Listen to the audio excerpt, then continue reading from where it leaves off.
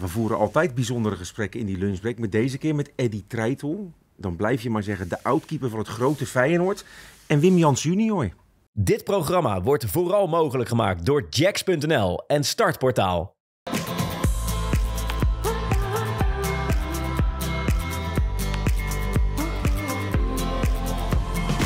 Dit is de Reur Lunchbreak. Ja, we zijn hier om te praten met Wim Jans junior en Eddie Treitel over een uh, bijzonder eerbetoon dat wij, Wim, met een aantal andere partijen, met Feyenoord onder meer brengen op 6 mei aan het Feyenoord dat dan uh, exact 52 jaar daarvoor de Europa Cup 1 won in Milaan. Zouden we twee jaar geleden doen, maar door corona kon het niet doorgaan. Voordat we daarover praten, ja, jouw vader is recent overleden. Hoe is het met jou en je, en je familie? Ja, het is natuurlijk een beetje een rare tijd. Het is de trieste omstandigheden. Tegelijkertijd ja, hebben we ook wel ja, weer, weer mooie momenten met de familie met elkaar mee kunnen maken. En uh, ja, ondanks het verdriet is er ook uh, ja, toch wel weer uh, levenslust, ook bij mijn moeder. En die, die is een sterke vrouw en daar zijn we heel trots op. Ja, en ook voor mij is natuurlijk, het, het, leven gaat weer gewoon beginnen. We zijn blij dat COVID voorbij gaat. En het gaat eigenlijk wel goed. Hoe um, heb jij al die massale belangstelling ervaren? Want je wist dat je vader populair was ja. in binnen- en buitenland. Maar voor mij was het groter dan jullie ooit bedacht hadden. Ja, ja, dat hadden we niet kunnen voorzien. We hadden wel inderdaad het idee van, god, dat gaat wel iets losmaken. Dat hadden we wel, dat besef. Maar dat het in binnen- en buitenland tot zulke proporties zou leiden, dat was inderdaad onvoorzien. We hebben reacties vanuit Japan tot Brazilië gekregen, van inderdaad Barcelona, Real Madrid, vanuit de FIFA, vanuit nou, alle eerbetonen in Nederland. We hebben hier natuurlijk een prachtig afscheid gehad, waarbij we een mooie balans konden vinden. Tussen hem als vader en opa en als man, maar ook als, als voetbalicoon. Met inderdaad alle helden van 1970 toen ook bij de uitvaart. Dat vonden we heel bijzonder. Ja, en toen vervolgens natuurlijk dat eigenlijk de spelers hem als het ware zeg maar, naar de supporters brachten. En daar uh, de fakkelzee en, en het eerbetoon met Never Walk Alone, ja, dat heeft uh, ons als familie heel goed gedaan. Nu is het vaak zo dat op begrafenissen er ook gelachen wordt. Jij hebt zelf gespeecht. Dat is natuurlijk vooral emotioneel als zoon van iemand die is overleden. Maar ik vind dat je, vond dat je een legendarisch verhaal had over een bezoek dat Israël nog aan je vader wilde brengen. Dat je vader daar iets, iets grappigs over zei. Ja, we hadden inderdaad een, uh, ja, een aantal mensen die die graag nog een laatste keer wilden zien. Waaronder Jan Boskamp en Rinus Israël. En uh, hij was een klein beetje wel de, de dagen kwijt en, en wist even niet wie, wie komt er ook weer morgen. Want we hadden gezegd oh, één per dag, zodat het overzichtelijk zou zijn.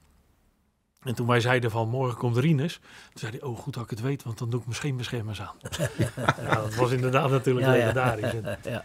In die vijf weken hebben we gewoon ja, dagelijks contact en met de familie. En het was, ja, het was met een lach en een traan. En inderdaad, ja, dat is uh, legendarisch. Wat was uh, Wim Jansen voor een medespeler, Eddie Treitel? Wim, ja, Wim was natuurlijk een uh, ja, middenvelder, een stofzuiger, een techniek, techniek. Hij kon alles, wat dat ook. Maar als je ook een foutje maakte, wat dan ook, kon hij ook flink tekeer gaan. En uh -huh. wat dan ook, dat, uh, dat zou je niet verwachten van Wimpy, maar dat uh -huh. kon hij ook hoor. Dus dat uh, ons goed op, op onze poten zetten. In, in, dat elftal van 70 was hij een van de jongste, misschien wel de jongste speler in die tijd. Hè?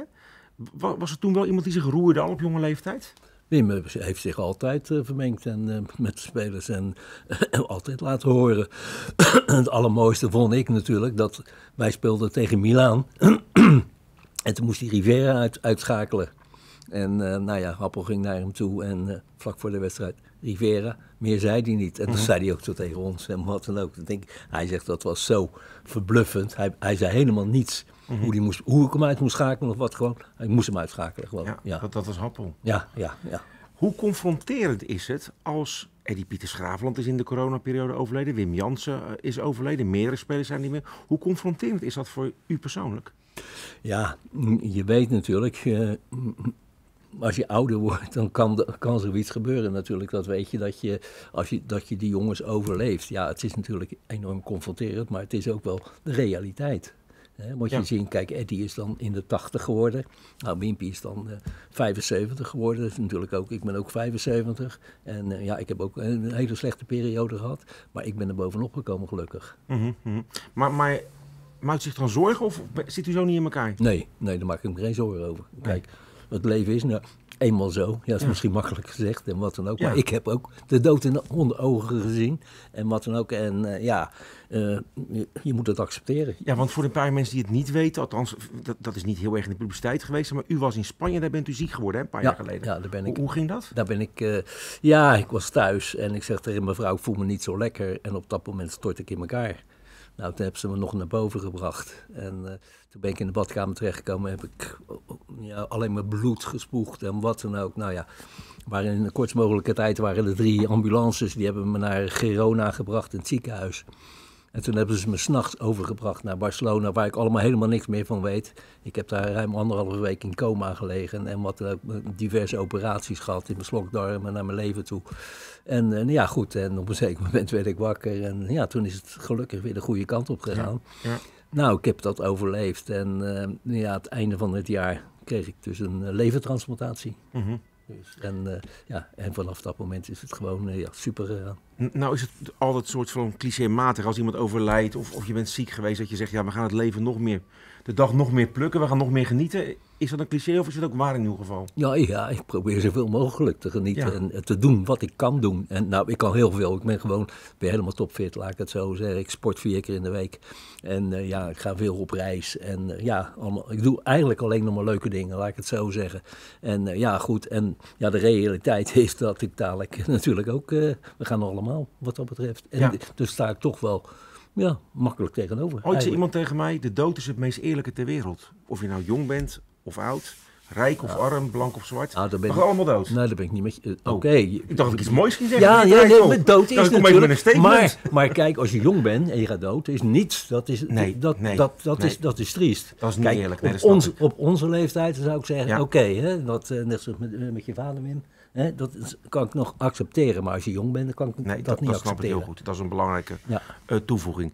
Wim, even over de inhoud. Hè. We zijn daar met een groot aantal nog levende spelers op 6 mei in de nieuwe RTMC's. Eh, kun kun je zeggen wat we gaan doen als nagedachtenis aan de overleden spelers? En trainer Ernst Happel bijvoorbeeld. Nou ja, daar zijn we nu eh, eh, druk mee bezig om daar een mooie eerbetoon voor te maken. En dat is inderdaad wat je zei. Ja, we hadden natuurlijk eh, eigenlijk twee jaar geleden de show willen doen. ik heb toen helaas meneer Pieters Graveland nog, nog vlak voor zijn overlijden aan de telefoon gehad. Omdat we hem toen hadden uitgenodigd voor die dag. Ehm, helaas is, is, is, is Koemerlijn en, en, Theo Lazarus natuurlijk al, al, langer helaas ons ontvallen. Dus we zijn nu heel druk om te kijken of we inderdaad een, eh, mooi eerbetoon in kunnen passen. Het is een ode aan de helden van 1970. We zijn heel blij dat alle nog levende eh, eh, iconen van, van die tijd ook eh, op 6 mei aanwezig zullen zijn. Ja, noem even de namen. Nou, we hebben van, eh, van Rinus Israël tot eh Piet Romein en van Willem van Aanegem tot Henk Wery en van Theo van Duivenbode tot Joop van Dalen en ja, eh, Eddie Treitel uiteraard. Ehm, dan vergeet ik er vast nog één, Guus Haak. Toezeggingen. Toezeggingen dat zij er ook bij zullen zijn. Ja, en nogmaals, het is natuurlijk prachtig als je, als je daar eh, toch nog, eh, da- ook al is het dan twee jaar later, een eerbetoon kunt maken. Want 6 mei 1970 blijft in het geheugen van elke Feyenoord supporter gegrift. En het is denk ik wel een passend eerbetoon dat we die eh, helden van toen ja, nog letterlijk en figuurlijk hier op het podium Ja. Nu kan ik me voorstellen dat je als kijker denkt, hoe ziet een theatershow er dan uit als je een eerbetoon brengt aan spelers uit het verleden? Eerder maakten Wim en ik, ook weer samen met Feyenoord logischerwijs, een show of meerdere shows, drie shows zelfs in het oude Luxor, toen Feyenoord 110 jaar bestond. Dat zag er zo uit. Welkom in het oude Luxor Theater, dames en heren. Hartelijk welkom bij Feyenoord 110 jaar. We beginnen deze avond met een spoken word artist. Uw applaus voor woordkunstenaar Chris Blok. Zo werden er veel geveld in Zuid. En werden we in de Kuip na 18 jaar weer kampioen op de moederdag. Waar iedereen samen met Tony aan zijn moeder dacht. Je treft elkaar net in de coulissen en dan gaat het gelijk over voetbal, hè, Wim Jans. Het gaat gelijk alleen over voetbal, alleen maar dat. Ik denk dat dat ons leven is geweest. Ja. Ja. Ja, En dat gaat nooit meer weg. nee. Wi- Willem van Hanegem, is dit het beste elftal waar je net gespeeld? Ja, ja.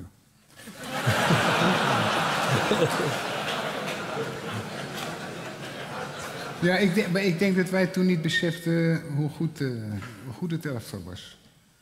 Op een gegeven moment dacht je, godverdomme, die gasten kunnen eigenlijk toch wel heel goed spelen. Ik, ik had het met Joop er toevallig over, of toevallig niet. Maar wij, ik vond dat wij het beste positiespel speelde van de wereld. Echt, er was geen betere ploeg. Ook Ajax niet, in de, wat ze in die tijd allemaal dat was niet zo. Nou, Feyenoord is voor mij een ongelooflijke club. Die, ik ben die club zelf wel dankbaar ook. Ik heb hier natuurlijk een geweldige tijd gehad. En, Ja. Dus eh, ja, ik heb wel eens al vlak daarna gezegd, eh, ik bedoel het absoluut niet eh, arrogant, maar als je Feyenoord eh, als trainer overleeft, dan hoef je niet bang te zijn voor eh, andere klussen. Maar het is nog steeds voor mij verbazingwekkend dat je gewoon met zo'n lullig spelletje zoveel mensen blij kan Ja. maken. ja. Dat, nee, maar het is Maar toch kijk, een- vanavond. Ja, maar, maar het is dus een fenomeen. Je speelt tegen NAC, je speelt een draak van een wedstrijd, je bent om half drie, om kwart over vier ben je kampioen. Nou, en dan ga je douchen en champagne, dit en dat en iedereen bad, tralalala. En dan stap je in de bus en dan ga je naar de Koolsingel. En dan kom je te Koolsingel om kwart voor zes, anderhalf uur later. En dan staan er 250.000 mensen. Nou, niet overdrijven. Nee, Willem, officiële, officiële cijfers van de politie Rotterdam. Gewoon dan niet overal te zijn, kom verdomme. Nee, helemaal niet. Hallo, Maar Er is één keer Kappen met me. 200, 250 kappen met mensen. me. Kijk dan, dan moet je deze winnen. Ja, daar gaat het niet om. Ja. Giovanni, ben jij wel eens verbaasd geweest over wat jullie een dik jaar geleden los hebben gemaakt? Eh, ja, zeker. Ik denk dat eh, als je na zo'n lange tijd kampioen wordt, eh, met 250.000 man op de koolsingel, dan is het... eh, Je bent een vriend. Je bent een vriend.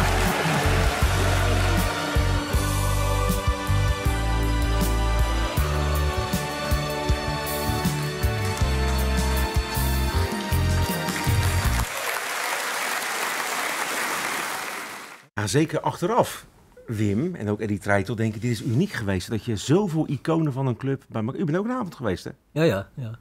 Bijzonder toch? Het waren een paar avonden, geloof Ja, ik. Hè? ja, Die, eh, ja. ja. ik ben ook een avond. Ja, bijzonder. Ja, het is altijd natuurlijk leuk als je nog geëerd wordt voor, Ja. de, voor die prestatie Ja. die je geleverd hebt toen de tijd. En ja, het is super. Ja, hoe kijk jij naar Wim? Je ziet ook je vader. is, nee, is, dat, is dat apart? Ja, ja, tuurlijk. Is zeker Ja. apart. ja. Dat is eh, wel even slikken, maar eh, Ja. tegelijkertijd ook heel mooi. Ja, ja, bijzonder dat we die mensen op één avond bij elkaar brachten, toch? Zeker. Die trainers, kijk naar die Ja, laatste drie. nee, schitterend. Ja, Ja. En inderdaad, ja, dat is het eh, mooie. Kijk, eh, je, je kijkt als fan, je kijkt ook als, als evenementmaker. Ja, en dat, er zijn wel eens verschillende petten, maar wel met hetzelfde respect. En ja, het is prachtig om dat eh, te kunnen faciliteren. Jij bent op het idee gekomen toen je vader werd gevraagd voor een soort gelijke avond bij Celtic, hè? Vertel Ja. eens.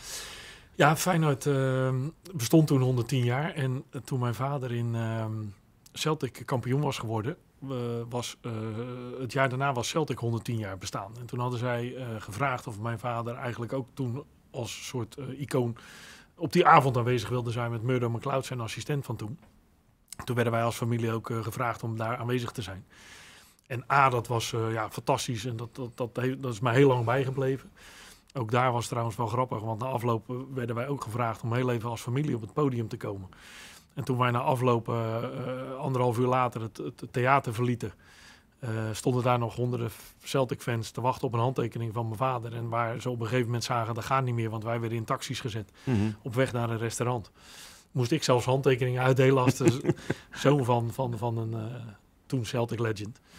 Dus ja, dat zijn wel bijzondere momenten. En die avond is me altijd bijgebleven. Het respect voor de club en, de- en de prachtige avond die daar was.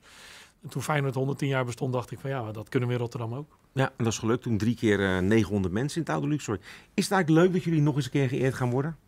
Komende 6 mei? uiteraard. Ja, dat, dat blijft, dat blijft, eh, blijft super gewoon. Dat je Mhm. door de supporters en door de media nog, nog geëerd wordt daaraan. En eh, dus aan de Europa Cup en de Wereldbeker, die, die wij dus als eerste gewonnen hebben. Ja dat, eh, ja, dat is een onderdeel van je leven, laat ik het Is, zo ja, is het nou vooral de buitenwacht die daar vaak over begint? Of denkt u er zelf ook nog regelmatig aan? Ja, mede ook door de buitenwacht, laat Mhm. ik het maar zo zeggen. Die je dan, maar zelf praat je er ook over met eh, diverse mensen van, joh, hoe was dat, hoe is dit? En, ja, gewoon ja, en, en, en de groei ook weer. Hè? Daar ben je Mhm. trots op wat je gepresteerd hebt. Wat is u het meest bijgebleven van, van die periode? Eigenlijk de gehele periode in de Kuip. De hele periode in de Kuip, ja. Eh, ik, ik kwam daar als een, eh, als een jong ventje binnen. Ik was 22 jaar en wat dan ook. En eh, ja, toen was ik nogal een beetje een branisch, branischopper. Mhm, mhm. Maar ik moet zeggen, na, na die, na die, dat seizoen dat je gespeeld had... Je, je, bent, je maakte mijn debuut voor het Nederlands elftal. Je won de Europa Cup, je won de Wereldbeker en wat dan ook. En ja, dan werd ik toch wat rustiger. Want het enige wat belangrijkste was... dat ik moest die ballen pakken. Mhm. Kijk, bij Xerxes, toen ik daar speelde, hoefde ik niet na te denken. Want Mhm. dan kreeg ik de ene bal naar de andere bal. Maar hier moet je nadenken. Mhm. Hè? En die ene bal die je krijgt, die moet je hebben. Dus je moet veel rustiger worden en wat dan ook. En dat is mijn hele periode wel. Dat heb ik eh, later bij AZ heb ik dat precies hetzelfde meegemaakt. Ja, ik heb gewoon een fantastische tijd gehad. In Ja, de Kuip hier. En- ja, toevallig stond een week een stuk in de krant over een beetje de malaise in de eredivisie met keepers. En toen zei Ja. Joop Hiele volgens mij, het gaat er bij Feyenoord niet om welke ballen je tegenhoudt, maar welke je doorlaat. Ja. Daar, daar praat alleen maar iedereen nou over. ja, ik denk daar anders over. Die ballen die je doorlaat, die kon je niet hebben. die Nou ja, tegenhoudt. tegenwoordig wel af en toe, Die tegenhoudt dan. Ja. dus, nee, nee, maar eh, ja, zo heb ik het altijd eh, gezegd. Ja. sorry, eh, ik kon hem niet hebben. Dat Is, is het feit dat u destijds in de finale niet speelde nog steeds een smetje? Of, of mag ik dat niet zeggen? blijft altijd, blijft altijd een smet. Maar eh, ja, ik heb daar... eh, kijk, iedereen moet dieptepunten hebben in zijn leven. Ja. En van dieptepunten kan je alleen maar sterker worden. Ja. Hè, dan ga- dan groei je naar hoogtepunten. En zo heb ik het later, heb ik dat ervaren voor mezelf. Ooit nog met Happel over gesproken? Al was dat geen praten. Ik heb het met Happel besproken eh, toen wij met Nederlands elftal in Ierland speelden t- voor de kwalificatie voor Argentinië. Oké. En ik zou spelen, ja. En op het laatste moment speelde Jongbloed. Toen zei hij, ja sorry, hij zegt, eh, om psychologische redenen. Ja, toen zei ik, ja dat is de tweede keer dat je dat, mij dat flikt. En wat dan ook. En toen zei hij, hij zei, ja, ja, ja, maar psychologische redenen. Hij zegt, maar wel, hij zegt, als we ons kwalificeren, ga jij mee naar Argentinië. Mhm, mhm. Dus ja, het- ik, ben, ik heb toen zelf bedankt. Ja, als, ja. als ik het zo hoor, is, is niet, ook niet echt een gesprek geweest. Nee, je nee, hebt niet nee, een uurtje samen nee, gezeten. Nee, nee, nee, nee. niet. Oh nee, absoluut niet. Met, met, met Happel kon je alleen lang zitten als je zat te kaarten. Ja. En dat is het enige waar je, waar je met Happel lang kon zitten. Dus eh, nee, maar ja, dat is, eh, ja. mhm. Sprak jouw vader veel over die periode, Wim? Ja, zeker. En dat is natuurlijk ook wel bijzonder, besef ik me. Want ja, we zijn 52 jaar verder. En ik ben 50. Dus het feit dat, Mhm. dat, dat, dat die kern nog steeds zo met elkaar betrokken is. En de een spreken ze vaker dan de ander. Maar ze komen natuurlijk ook op de reunie altijd in, in, in de zomer elkaar weer tegen. Het is natuurlijk uniek, misschien wel in heel de voetballerij eh, wereldwijd. Dat de mannen van 1970 nog steeds eh, zo goed contact met elkaar hebben. Ja, dat is ook een tijdsbeeld. Mhm. Ik denk niet dat de, de lichting van nu over 40 jaar nog bij elkaar op de koffie komt. Nee, Lins en Dessers sowieso niet, denk ik. Dat, nee, dat denk ik niet. Ik denk dat het ook zo is dat er heel veel Nederlanders in het elftal speelden. En een paar jongens uit Rotterdam en wat Ja. dan ook nog. Kijk, nu is het zeg maar eh 90% buitenlanders. Of eh, ze komen van eh heiden en ver. Mhm. Dus ik denk dat dat ook natuurlijk Ja. wel een binding heeft, heeft Ja. gegeven. Ja, ja. U bent nog altijd in de Kuip, hè? In een loge. Ja. Laat die club u ooit los? Nee, nooit. Nee, nee dat, dat, dat is je leven geweest. Een stuk, een stuk van je leven, laat ik het maar zo zeggen. Ja, en ik ben natuurlijk een voetbalfanaat en eh, wat Ja. dan ook. Dus ja, Kijkt u ik- nog alles? Alles. Ja? Nou, ja, heel veel, laat ik het zo zeggen. Niet Ja. alles, maar heel veel. Ja. Wat is er met die keepers aan de hand in Nederland? Ja, dat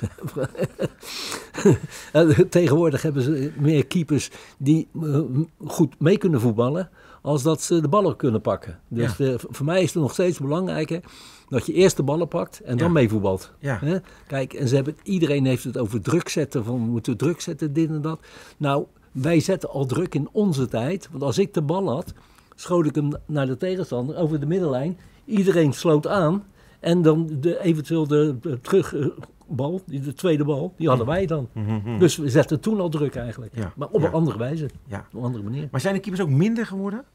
Het is zo makkelijk om ja te Ja, zeggen. maar, ja kijk, ik, ik, Drommel bij, bij PSV zie je, die heeft bij Twente natuurlijk heel goed gespeeld. Dan stond hij ook constant onder druk. Dus Ja. dan kan je ook makkelijker presteren. Nu moet hij ook, wat ik er straks al gezegd heb, nu moet hij nadenken bij PSV, ja, voor die bepaalde bal. Mhm. En dan, ja, dan wordt het wel moeilijker. Ik denk dat dit seizoen misschien, ja, eh, hoop, dat hij hoop geleerd heeft van dit seizoen. Ja. En dat hij in de, voor de toekomst, dat hij, eh, dat, eh, dat hij ook die dieptepunten, dat hij goed die analyseert en dat hij toch anders gaat spelen en met andere, iemand erover gaat En praten. hoe kijkt u naar de Kuip en de keeperspositie? Ja, ja, zeker. Ja, ja, het is jammer dat Bijlo natuurlijk geblesseerd is. Bijlo doet het goed. En die hebben ook alweer geleerd van dat hij af en toe te snel eruit komt. Dat hij wilde laten zien dat ze willen keeper. Dat heb je met jonge jongens. Dat heb, ik- heb ik gehad. Dat heb iedereen gehad. Jonge jongens. En, eh, en ze krijgen de kans willen laten zien dat ze het kunnen. Ja? Maar dat is juist, als je bij Feyenoord speelt, de grote fout. Hè, je moet geduldig zijn. En dat Bijlo ook een paar keer gehad. En wat dan ook. En daar heeft hij ook weer van geleerd. Ja, en nu, ja, die, nu die Martinez, ja, ik moet zeggen, ik ben er niet kapot van. Nee, eerlijk zeggen. nee, nee. Ik, eh, ik zag hem tegen Praag alleen maar op de grond liggen bij die drie goals. Ja. Maar je moet eh, naar een bal blijven kijken en Ja. niet op de grond liggen. Ja, ja, jij gaat zo na deze uitzending naar Praag toe, Wim. Heb jij eh, als een gevoel bij het bereiken van die laatste vier?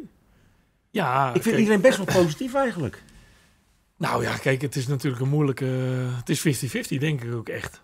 Tegelijkertijd, eh, verdedigend zijn we soms kwetsbaar. Maar we hebben ook altijd wel de gave om, om eh, uit het niks een goal te kunnen maken. en wat ik vooral sterk vind, is dat ze denk ik mentaal sterker zijn dan, dan eh, vorig jaar. Als we nu achterkomen, hebben we niet het idee van... nou, eh, de kopjes zijn eh, gehangen en eh, het is, het is over. Nee. Dus ik, heb, eh, ik ga vol vertrouwen die kant op. En eh, ik hoop dat we weer in de koker komen. Hoewel we de tegenstander dan... eh, Hoe belangrijk is voor de club? Ja, zeer belangrijk. Niet alleen eh, financieel met een volle kuip, eh, maar ook de uitstraling internationaal, de waarde van de spelers die op het veld staan. Je komt dan nog op een groter podium, dus dat zal ook eh, de extra inkomsten van transfer moeten kunnen leiden. Dus het, is, ja, het zou een mooie, mooie prestatie zijn. En heb ik geleerd, meneer Treit, dat er in het leven soms twee waarheden zijn. Hè? Enerzijds kun je zeggen, het is een geweldig seizoen en we voetballen beter dan ooit. En wat Wim zegt, we hebben veerkracht als we achter staan. Je kunt ook zeggen, ja, we worden derde of vierde in de competitie. We zijn niet zoveel opgeschoten. Nee, nee. Wat, wat is nou de waarheid? Is er één waarheid? In ieder geval, je speelt positiever. Mhm. Laat ik dat zeggen. Je hebt het publiek enthousiast gemaakt dit seizoen. Eh, vorig jaar is vergeten.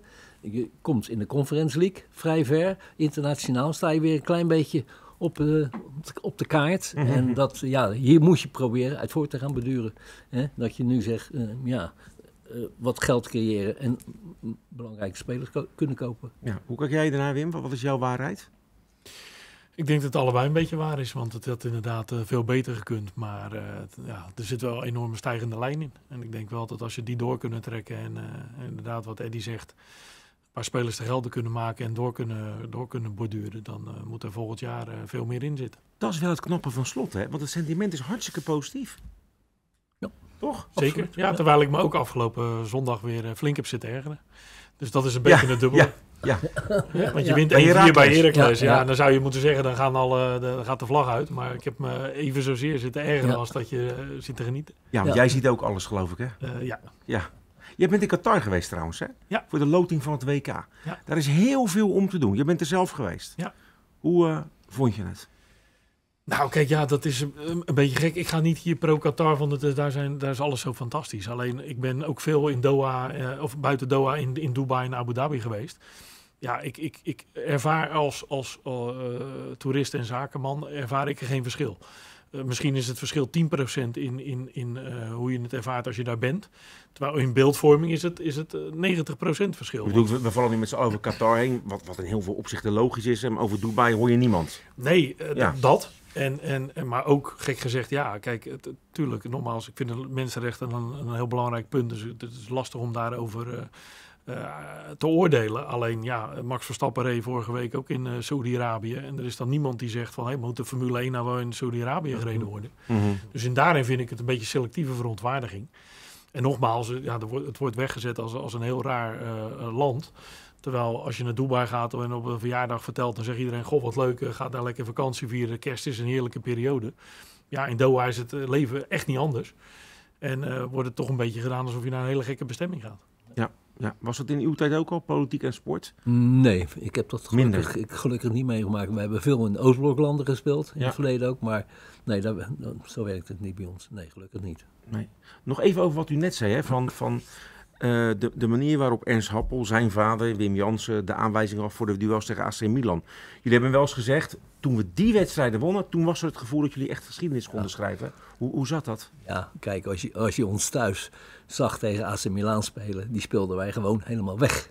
Echt, eh, dat was een wedstrijd. Dat is eigenlijk de beste wedstrijd geweest die ik voor Feyenoord gespeeld heb. Die ik meegemaakt heb, dan laat ik het wel zo zeggen. Ik, ik heb zelf weinig te doen gehad thuis, maar ja, qua voetbaltechnisch was het gewoon zo verschrikkelijk goed. En ja, eh, ja, Dat, ja, ik kan er niks anders over zeggen. En toen kon je dus duidelijk merken van, joh, wij zijn sterker, wij zijn de betere en wat dan ook. Eh, wat Willem dan net ook zei in dat stukje Mhm. van, we hadden gewoon een geweldig elftal. Mhm, mhm. Maar zo begonnen jullie niet aan het seizoen, hè? Of wel? Weet Nou, niet. maar wel, We- we- jullie begonnen toch niet met de gedachte, we gaan de Europa Oh nee, winnen? absoluut niet. Nee. Kijk, en toen wij, eh, eh, wij de wereldkampioen eh, loten, zeg Ja. maar de tweede ronde, Milaan. Ja. Nou, dan, eh, hè, dan stonden we even met beide benen weer op de grond. Nou, Rijkjavik, dan krijg je de, Ja. de wereldkampioen en wat dan ook. Maar ja, we hebben ons natuurlijk na eh, Milaan, ja, toen hebben we ons wel sterk gevoeld. Ja. Gingen we Ja. steeds beter spelen Ja. en wat dan ook. Dus dat, eh, ja, super was dat. Wat zegt het nou tenslotte, Wim, over deze club? Hè? Dat in 2018 er 2700 mensen, of 17 was het? 110 jaar van- 18? Nee, 18, 18 ja, 19, 17 kampioen, 2018, ja. 18e, Eh, het 2700 mensen uit Luxor komen, dat mensen nu naar eh, de RTM steeds gaan. Wat zegt dat nou over deze club? Ja, unieke club. Cynici zullen zeggen, ze vieren succes uit het verleden. Eh, ja, dat, dat klopt. Maar dat is ook denk ik wel heel mooi. En ik denk dat Ja, dat in, je moet je helden eren, toch? Ja, Zeker. En dat in is toch een Engeland... onderdeel van Feyenoord. Ja, tuurlijk. En wat dan ook. Dus het, het heeft met Feyenoord te maken. Ja. Het heeft nog ineens met ons te maken. Maar het heeft met de club Feyenoord te Ja, maken. nee, maar ja, ja. Dus die eer Maar wel hebben jullie ook wel een rolletje in gespeeld, Ja, hoor. gelukkig, gelukkig wel, ja. Gelukkig wel, ja. In Engeland kunnen ze het ook mooi. Ik denk dat we het in Rotterdam ook goed... eh, goed- Tuurlijk. Ja. We gaan Ja. verheugen ons erop. Dank je wel. Dank u wel, Eddie Treitel. Dank je wel, Wim Jansen. Dank u wel. En jullie bedankt eh, voor het kijken. Tot de volgende week. Dan zijn we met een nieuwe lunchbreak. Tot dan. Dit programma wordt vooral mogelijk gemaakt door Jacks.nl en Startportaal.